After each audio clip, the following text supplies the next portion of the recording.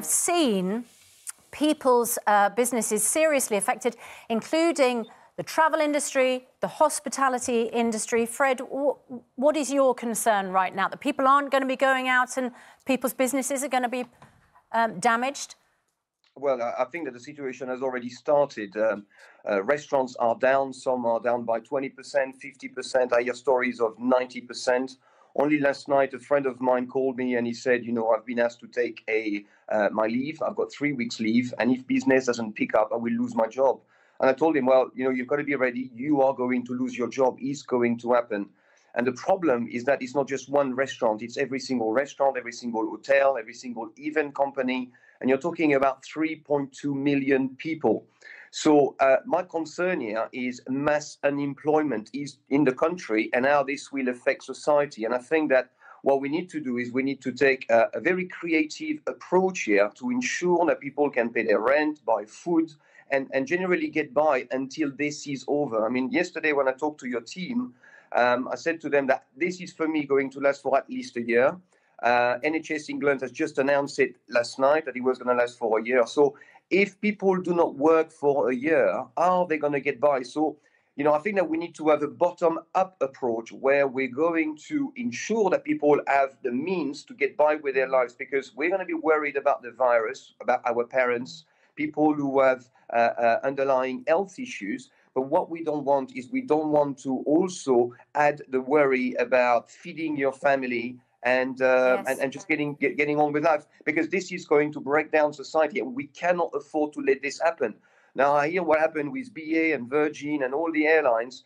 You know, for me is you know the planes can stay on the ground, but what we must do is feed the people and make sure that people have pay their rent. So you know, look, there are uh, lots of measures that we can do. I'm not an economist, I'm not a specialist in uh, finance, but I'm sure that if we put our head together, we can find a solution to ensure that people can can, can just get I by. think that's right, Fred. I think the government's going to have to do a lot more to help a lot of small businesses, particularly yes. in the industries which are being most hit. I mean, what I would say about the, the travel business, the airlines and so on, they have thousands, tens of thousands of employees who are worried sick right now because they're all getting laid off. They're all mm-hmm. seeing their industry decimated. People are no longer flying. And so I think the same applies to them as applies to people in the restaurant business, in the bar business. Imagine being in Ireland where every pub has been shut. Mm-hmm. You know, this may happen here. What happens to people, to bar staff, to people who work in cafes, to people who work in restaurants as waiters or chefs or whatever it may be? And as you this say, is going to hit a lot of industries. People can't then pay their own bills. They can't pay their rent. They can't look after yeah. their own families.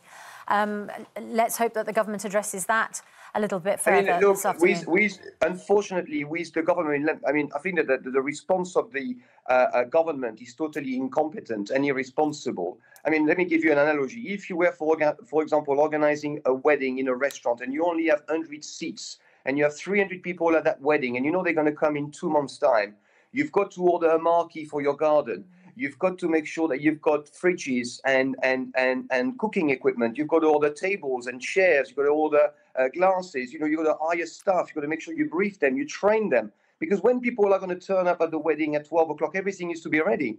And we have known for this crisis for the last three months, and it's people's job to organize these kind of things. And only yesterday, uh, Matt Hancock was talking about uh, getting JCB to do ventilators. I mean, this is just beyond me that this yeah. level of incompetence is allowed, you know, in government. And uh, in terms of the restaurant industry, I mean, for me, it's just obvious it's it's going to happen. I've seen it coming for for, for yeah. weeks, but nothing has been done. It's somebody's job to do that, to concentrate on that and focus and, and get it done. You know, if uh, people were as bad as this at running restaurants or businesses, we will already all be bankrupt. Uh, but the point is, it's an issue of trust. Yeah. And at the end of the day, the government, Boris, uh, uh, uh and, and, and all his, his, his, his, team there have been lying to the British public over Brexit since 2016. So no wonder why people don't believe them now. Okay, Fred, and, look, and... I mean, personally, I think we should leave uh, Brexit out of all this. I think that we should leave politics, actually, out of this. What you, The points you've raised about the staff who work in all the uh, service industries they need to be taken care of. It's this government has got to step up and help the travel industry, help the service industry, the restaurant business, all of it. You raised some good points there. Fred, thank you very much for joining us.